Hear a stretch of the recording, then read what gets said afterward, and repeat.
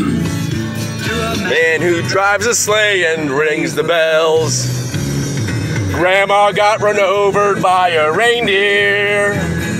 Walking home from our house Christmas Eve. You say there's no such thing as Santa. But as for me and Grandpa, we believe.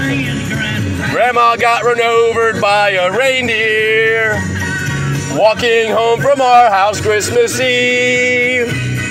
You could say there's no such thing as Santa. But as for me and Grandpa, we believe. Woo!